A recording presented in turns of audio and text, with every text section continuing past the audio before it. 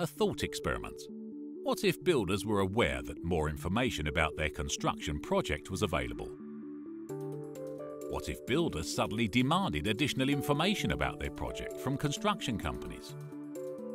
What if data regarding components could be stored intelligently so that it can be found quickly and easily even after construction is completed? What if more and more builders could learn that there's a way to dramatically reduce the operational and maintenance costs of their construction for years to come? What would happen if builders using the building information modelling method, including you, want to work together and use this method with experienced construction companies? Wouldn't it be great if construction companies were prepared for it and were ready to meet the needs and demands of building information modelling builders?